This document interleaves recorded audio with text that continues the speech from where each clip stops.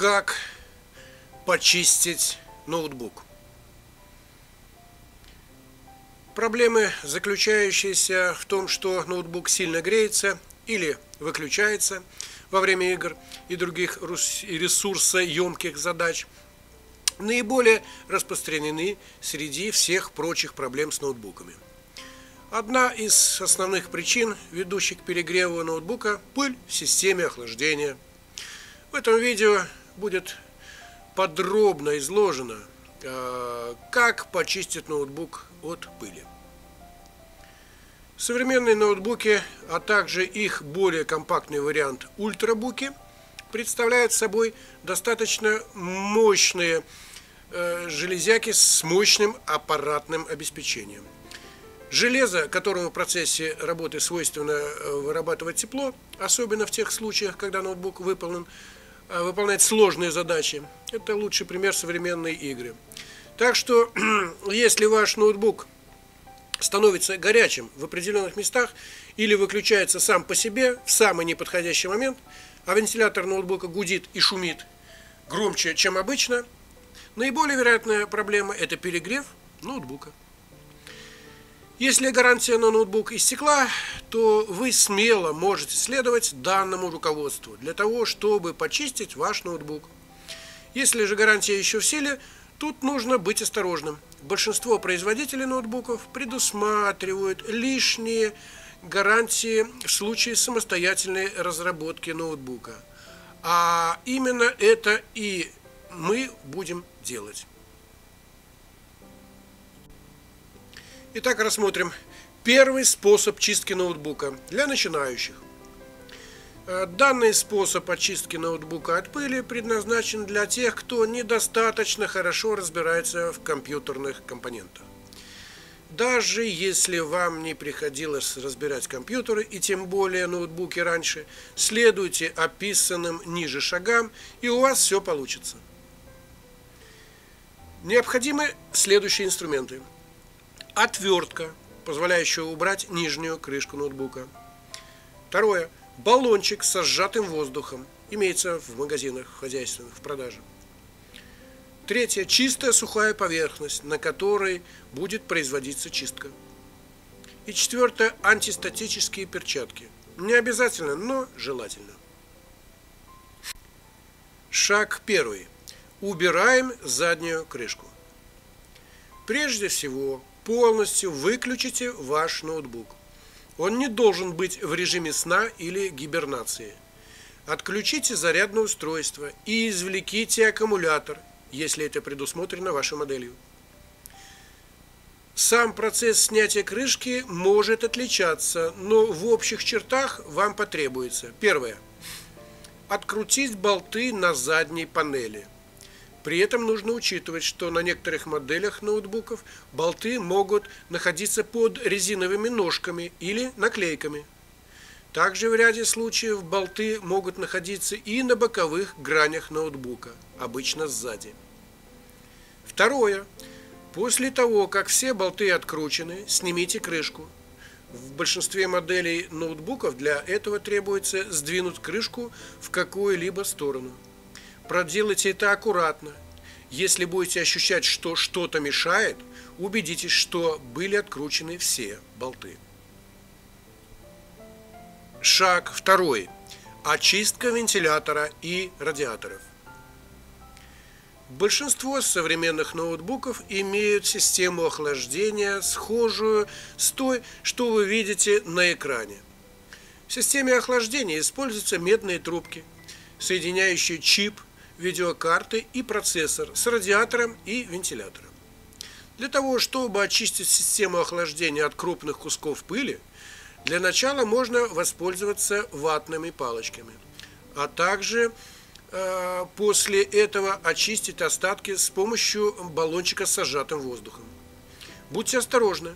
Трубки для отведения тепла и ребра радиатора можно случайно погнуть, а этого делать не стоит. Вентилятор также можно очистить с помощью сжатого воздуха. Используйте короткие пшики из баллончика, чтобы вентилятор не вращался слишком быстро. Также обратите внимание, чтобы между лопастями вентилятора охлаждения не оказалось каких-либо предметов. Надавливать на вентилятор также не следует. Еще один момент. Баллон с сжатым воздухом следует держать вертикально, не переворачивая. В противном случае э, на платы может попасть жидкий воздух, что в свою очередь способно привести к повреждению электронных компонентов. При чистке можно также использовать э, пылесос только в режиме легкого выдува. Легкого выдува. Также можно использовать различные кисточки. В некоторых э, моделях ноутбуков присутствует несколько вентиляторов и радиаторов – в данном случае достаточно повторить вышеописанные операции по очистке с каждым из них. Итак, рассмотрим третий, заключительный шаг нашего, нашего мероприятия. Шаг третий. Дополнительная чистка и сборка ноутбука. После того, как вы закончили с предыдущим шагом, неплохо также сдуть пыль со всех остальных открытых частей ноутбука, используя все тот же баллончик со сжатым воздухом или пылесос. Убедитесь, что вы случайно не задели каких-либо шлейфов и других соединений в ноутбуке. После чего поместите крышку на место и перекрутите ее, вернув ноутбук в исходное состояние. Вот обращаю внимание, обязательно проверить, чтобы все шлейфы, все соединения, все разъемы на самой материнской плате были все на месте. Если вы боитесь, что что-то сдвинете, что-то передвинете, обязательно сделайте снимок с помощью мобильного телефона или фотоаппарата. Именно э, процесс разборки, разборки и процесс чистки. Перед процессом чистки обязательно съемочку сделайте, снимите материнскую плату э, с помощью э, смартфона, телефона, чтобы при обратной сборке вы знали, что все здесь должно стоять, как вот на этом снимке. А в случаях, э, когда болты скрываются за резиновыми ножками, их приходится приклеивать, вот эти резиновые ножки. Если это относится и к вашему ноутбуку, обязательно сделайте это.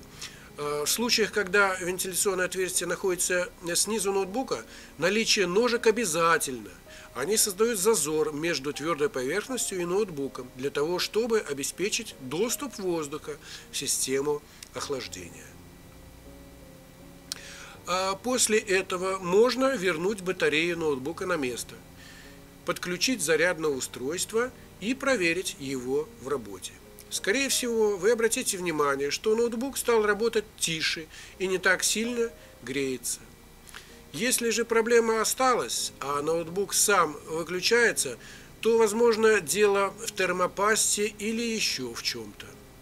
Вот в следующем э, видео я вам покажу, как выполнить полную очистку ноутбука от пыли, заменить термопасту и гарантированно избавиться от проблем с перегревом.